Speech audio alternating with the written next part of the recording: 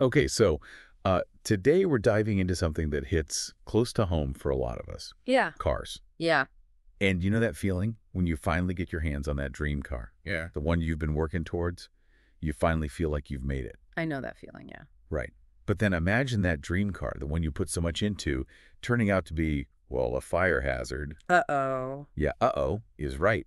And that's exactly what's happening right now with hundreds of thousands of BMW owners. Yeah, this is a big one. Over 720,000 vehicles were recalled just last year in 2023. And we're not talking about just any BMWs. This recall impacts their top-of-the-line models. The X5, the X6, even the 5 Series. These are cars known for, you know, their engineering. Exactly. So a recall of this size, it's definitely a big deal. I mean, we hear about recalls every now and then, but a fire risk, that's a whole other level of scary. Absolutely. So let's break it down. What exactly is the problem here? So it all starts with, believe it or not, a coolant leak. Might not sound like a huge deal at first, right? Right. But it's all about the location of this leak. It's happening in the EGR system, which stands for exhaust gas recirculation. And as you can probably guess, that system involves some really high temperatures. Okay, so EGR system, not exactly a term I use every day. Hmm. So for those of us who aren't car mechanics, what's going on in there? Okay, so in the simplest terms, the EGR system is designed to reduce emissions.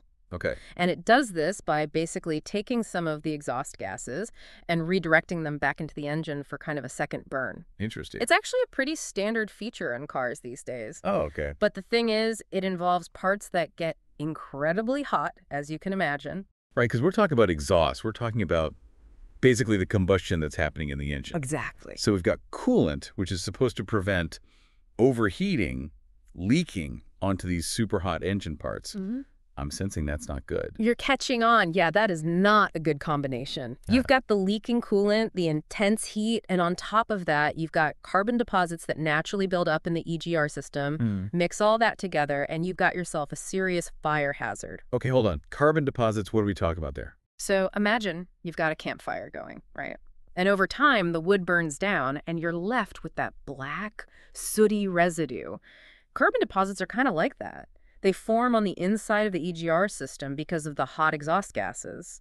And here's the thing, they can actually act like fuel when they come into contact with the leaking coolant and the hot engine components. Oh, wow. So it's like a chain reaction Exactly. waiting to happen. It can be very dangerous. And we're not just talking about a little smoke here, are we? We're talking about a serious fire risk. Oh, yeah, absolutely. We're talking about a potential engine fire. Imagine this happening while you're driving down the highway at 60 miles an hour. Oh, my. Yeah, and it's not just a hypothetical scenario either. It's a real danger.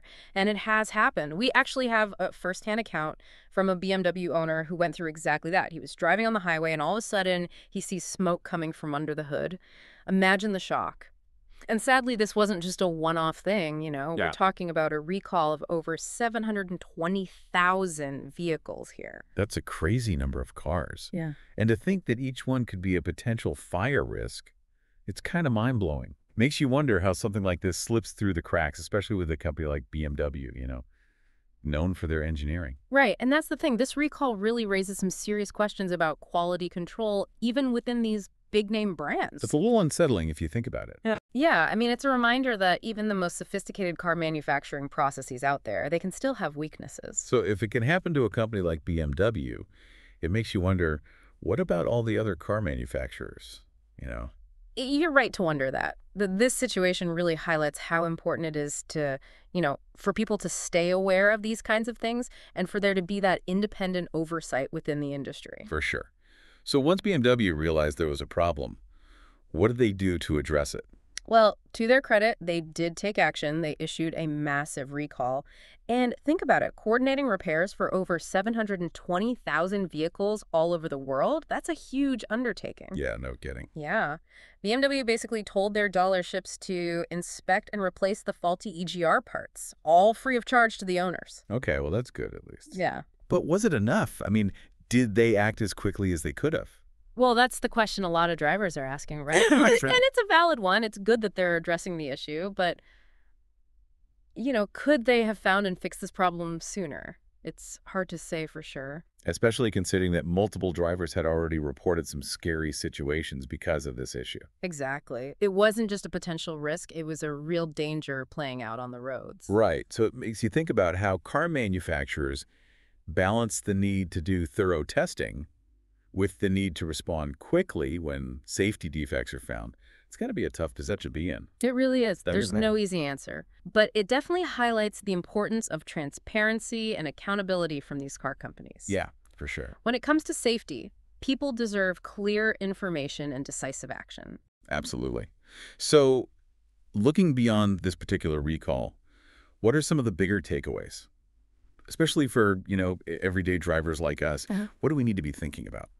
Well, I think one important thing to keep in mind is that no car manufacturer is perfect. Right. Mistakes happen, even with these brands that we think of as, you know, being the best of the best. So it's not about like pointing fingers. It's about understanding that even the most advanced engineering can still have vulnerabilities. Oh. What else though? What else should we be mindful of, especially since, you know, we all get behind the wheel ourselves?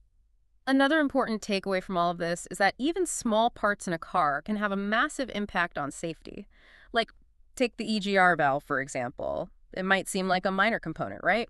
But as we've seen, a problem with it can snowball into a really serious safety hazard. It's like that butterfly effect. Yeah. One small change can lead to unintended and potentially huge consequences. Exactly. And it shows how important meticulous design, manufacturing, and maintenance really are. Every single part, every connection matters. Makes you think twice about ignoring those dashboard warning lights. I know, right? Those warning lights are there for a reason. They're trying to tell us something. They're your early warning system. Brushing them off can have some, well, you know, serious consequences. Yeah, it's like you were saying earlier, every part, every connection, it all matters. And this isn't just about BMW, is it? I mean, this whole thing really makes you think about like the bigger picture of car manufacturing in general. Absolutely, yeah. When a company known for its high-end engineering like BMW has a recall this big, it really makes you wonder what's going on across the entire industry. Exactly, yeah. If it can happen to a company like BMW, it can happen anywhere, right? So what does this recall tell us about quality control in the car industry as a whole? Well, that's the million dollar question, isn't it? I think this situation has definitely put a spotlight on just how complex car manufacturing really is and the challenges of catching every single potential problem. Right. It really underlines the need for, you know, rigorous testing at every single stage, from design to assembly. Everything has to be looked at really carefully. It also makes you think about all the pressure these car manufacturers are under these oh, days. But for sure. I mean, they're constantly rolling out new models, new technology. They're trying to keep costs down. It's easy to see how something could, you know, slip through the cracks. Yeah, absolutely. I mean, the pressure to innovate and stay competitive is huge. But as we've seen with this recall, even small oversights can have really, really big consequences. And it raises questions about whether the industry maybe needs to kind of rethink its approach to quality control in this age of, you know, super rapid technological advancement. Yeah, it's kind of like building a house of cards. You Uh, know, Totally. one weak link and the whole thing can come crashing down. Exactly. And it just goes to show that every single component, no matter how small, plays a really crucial role in the overall integrity of a vehicle. So as we wrap up our deep dive here into BMW's huge recall, the coolant leak issue, the fire hazard, what's that one key takeaway you want to leave with our listeners? What's the one thing you really want them to remember? I think the biggest thing is just to stay informed. Knowledge is power, especially when it comes to your own safety, right? And I think this recall is a really good wake up call for all of us, no matter what kind of car we drive, to pay attention to what's happening in the automotive world. Meaning, don't just toss those recall notices in the trash, right? Exactly. They might seem like a hassle, but they're there for a reason. You know, stay informed about your own vehicle, check for recalls regularly, and if something seems off, don't hesitate to take your car to a mechanic. Get it checked out. because in the end, a little awareness can go a long way in preventing a potential disaster. Couldn't agree more. Well said. And for our listeners who want to delve a little deeper into this recall, or maybe just learn a little bit more about car safety in general, make sure to check out our show notes. We'll have links to some additional resources there for you. Until next time, drive safe, everyone, and as always, stay informed.